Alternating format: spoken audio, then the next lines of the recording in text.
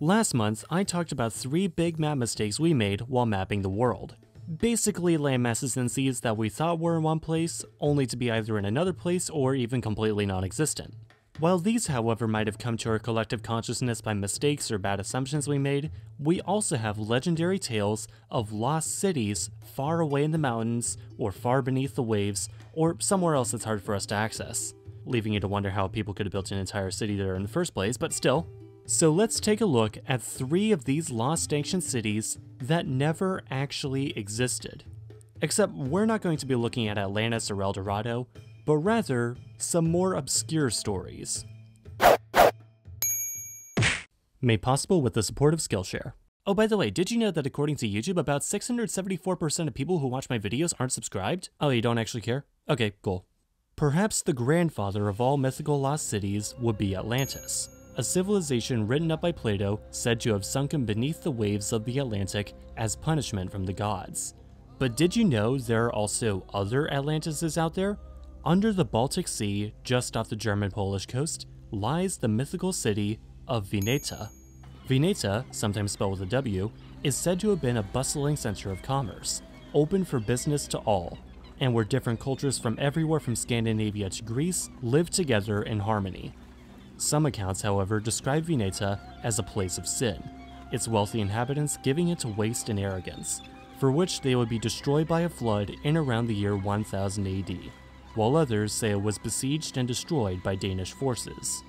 Vineta's precise location isn't exactly known, but it is said to have been located somewhere around these areas, either off the islands of Usedom and Wolin or by the nearby town of Barth. A record of the city has been recorded from numerous sources, including Sephardi Spanish traveler Ibrahim bin Yaqub and detailed accounts from Adam of Bremen. Adam of Bremen in particular wrote about an emporium in the Oder River estuary, home to Slavs, barbarians, and Greeks, and frequented by Saxon traders, and which briefly held refuge for Harold Bluetooth. No, actually, that's not a coincidence. The existence of Vineta, however, remains doubtful, and likely a form of local folktale.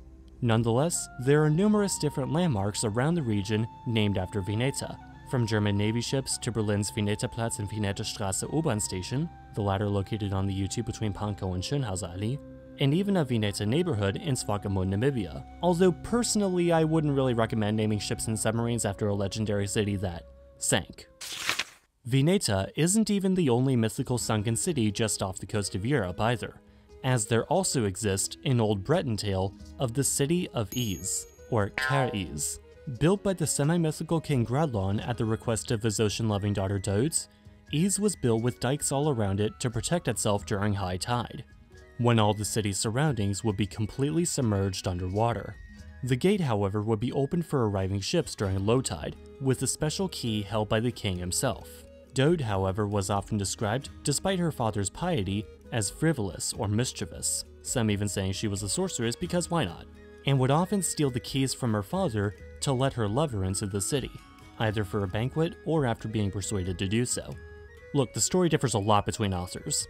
Either by mistake or under the influence of alcohol, Dodes opened the gates of the dikes, inundating the city. The king is said to have been saved by a saint, and had tried to save his daughter until a voice called out, Throw the demon thou carriest into the sea, if thou dost not desire to perish.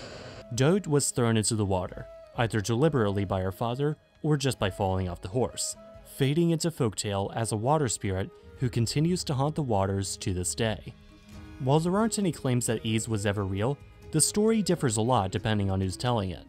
In some versions, the saint in question was Saint Winwaloe, while in others it was Saint Corentin. Some versions say Dahut fell into the water, while others say King Gradlon threw her off the horse. And while some versions of the story say Dahut stole the keys from her father as he was asleep, some even say it was Dahut herself who kept the keys to the gates of the dikes. Some versions add that one day Ys will return, when Paris is swallowed up, as the Breton Par-Ys roughly means like Ys, or similar to Ys. So yeah, maybe Paris might be destroyed in the future, but at least we got to learn a bit about a language by dissecting a pun. Finally, in ancient Greek legend, the port city of Tartessus lie beyond the Pillars of Hercules, or what we now call the Strait of Gibraltar. Okay, so this place isn't exactly quite as mythical as the other two, but it's still really interesting. Tartessus was recorded in ancient Greek and Roman literature throughout the first millennium BC as being a port city at the mouth of the Guadalquivir River in Andalusia, and home to a more widespread culture called the Tartessians. Tartessus was used in ancient accounts as the name both for the Guadalquivir River and an older name for the later city of Carpia. They say that Tartessus is a river in the land of the Iberians, running down into the sea by two mouths, and that between these two mouths lies a city of the same name. The river, which is the largest in Iberia, and titled those of a later day called Baetis, and there are some who think that Tartessus was the ancient name of Carpia, a city of the Iberians. According to the historian Ephorus of Kyme in the 4th century BC, the Tartessians were rich in metals including gold, copper, and importantly for the Bronze Age, tin. Thus, Tartessus became a lucrative trading port for the region, exporting metals from the Celtic lands further into Iberia to the rest of the Mediterranean world.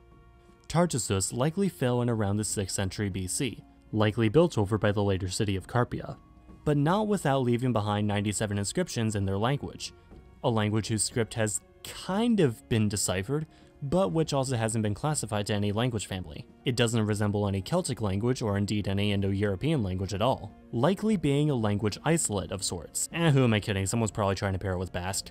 Although the city has long faded into ancient history, a Phoenician colony established nearby to trade with Tartessus would last into the modern day. Founded in 1104 BC as Agadir, with the Romans changing its name to Gades, then the Arabs to Cadiz, and then the Spanish to its modern name, Cadiz. While these cities might have never actually existed, that doesn't mean there aren't actual sunken cities around the world, or even just abandoned ones. We can learn a lot about our history through studying these ancient ruins, as well as historic buildings and structures still in use. Therefore, preserving them is of utmost importance. Today, many of these sites have been inscribed as UNESCO World Heritage Sites, but what actually is a UNESCO World Heritage Site, and what does it mean to be one? Follow me over to my channel, Articulation, where I just made a video about this to find out more. You heard the lady, go to her video. Well, just after this funny Skillshare ad I have to show you first. Hi, I would like one skill, please. Certainly. What would you like? Well, um, I didn't think I would make it this far. You didn't? Okay, well, you know what? If you're not sure, that's perfectly fine. How about I just give you all the skills? All the skills? But how? Simple, with a subscription to Skillshare. Skillshare is an online learning community made by and for people looking to get better at whatever creative skills they've always wanted to master, whether that be drawing pictures, or cooking a delicious meal, or speaking a foreign language, or whatever. For you, I'd perhaps recommend this course by Ali Abdaal on productivity for creators. Also, you can download all the courses you want to watch later when there's no internet, like when we're allowed to travel again, or whenever it snows in the Portland area. Wow, that sounds awesome! But that also sounds pretty expensive if you're giving me everything in the store. Well, no, I mean, it's not like it's actually taking any inventory off our shelves. In fact, the store doesn't even exist. We're just imaginary characters in the greater KhAnubiverse whose sole purpose is to make more entertaining sponsor segments.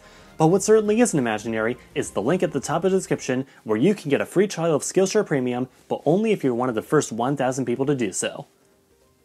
So, like, do it.